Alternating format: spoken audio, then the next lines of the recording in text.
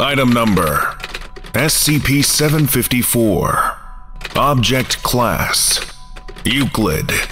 Request for Keter classification under review. 2000.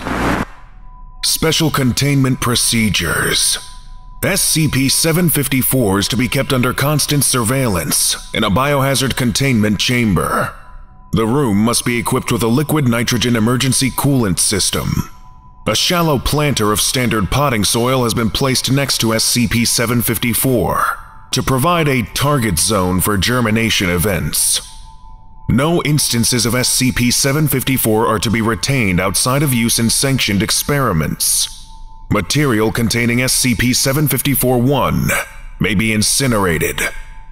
To dispose of SCP 754, the room must be sealed and liquid nitrogen piped in until the ambient temperature has been at or below 150 Kelvin for a minimum of 15 minutes.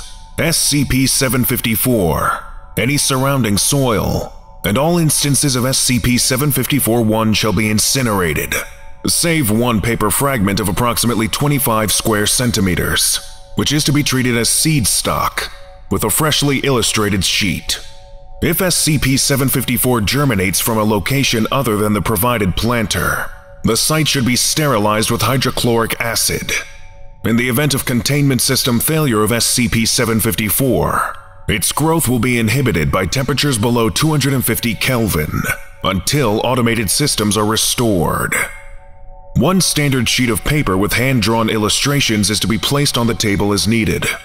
Current procedures call for the replacement and disposal of the oldest illustration once the newer sheet shows evidence of buds. At the current rate of growth, replacement should occur every two to three days. If this rate is observed to increase, notify the Level 3 supervisor. As of 2000, Dr. Cairns. Under no circumstances are any SCP objects containing hand-drawn illustrations to be allowed within 20 meters of SCP-754-1. Description SCP-754 is superficially similar to Convolvulus arvensis, a flowering vine commonly known as morning glory or field bindweed in North America. Its leaves and vine are red with delicate black veins. Flowers, when present, are red with black mottling. SCP-754 will propagate in a manner similar to bindweed. However, it can overgrow any object, including those typically resistant to plant growth and water too deep for root stabilization. It can attain a top growth rate of meters per hour. It is inhibited by temperatures below 250 Kelvin, negative 23 degrees Celsius, and enters a dormant state when chilled below 150 Kelvin, negative 123 degrees Celsius. SCP-754 is not limited to normal growth patterns, and can grow in paper media as an illustration, designated as SCP-754-1. It manifests itself as an additional image in hand-rendered illustrations, indistinguishable from the original contents in terms of medium, style, and scale. SCP-754-1 will propagate through the white space remaining on the material, as well as overgrowing illustrated objects. The growth rate is constant in the scale of the illustration. Consequently, the linear spread across the material is not constant and depends on the illustration. SCP-754-1 can also propagate to other illustrations within a 15-meter radius of the original medium. The time required to do so decreases with proximity and physical contact.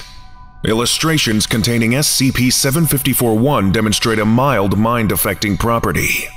Individuals below 80 on the psychic resistance scale will insist that SCP-754-1 has always been present in the illustration and those below 90 on the psychic resistance scale will be reluctant to destroy SCP-754 unless prompted to or trained. Illustrations containing SCP-754-1 will animate and change in response to the growth of SCP-754-1. Illustrations appear to be moving at one-tenth speed slow motion. It has not been determined if this occurs as a stop-motion effect or as a constant movement. Volitional beings depicted in the illustration will react to SCP-754-1 and utilize other depicted objects as appropriate. The most common reaction observed is the attempt by individuals in the illustration to restrict or directly impede the growth of SCP-754-1. When no white space remains on any illustrated material within range, SCP-754 will germinate within 5 meters of SCP-754-1. This occurs no more than 3 hours after the complete overgrowth of all white space in range. It will tend to appear where a non-anomalous plant could germinate.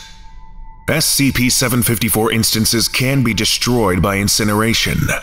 However, any root fragments left intact will be stimulated and cause immediate regeneration of SCP-754 within 6 hours. Additionally, any chordate with mucous membrane contact to the ashes within 12 hours will become a new medium for SCP-754 growth. Further instances of SCP-754 will then erupt from the petechiae of the plant. Dormant SCP-754 can be incinerated without inducing generation. Root fragments must still be destroyed to prevent normal plant regrowth. No side effects have been observed from the incineration of material bearing SCP-754-1. Addendum 754-1 Circumstances of Retrieval SCP-754 was first brought to the attention of the Foundation when police officers in France arrested an extremely agitated office worker who was found attacking courtyard weeds with a carbon dioxide fire extinguisher. Foundation intervention was required when 45 infestations of SCP-754-1 subsequently developed in residential areas. Due to recommendations made by an office worker in custody, the containment team suffered no casualties.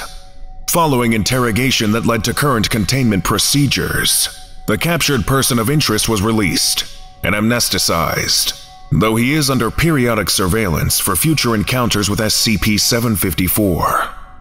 Addendum 754-2 After the events of Experiment 754-7, personnel with figurative tattoos, branding, or other decorative body modifications are forbidden from coming within 20 meters of SCP-754, save for participation in approved experimentation.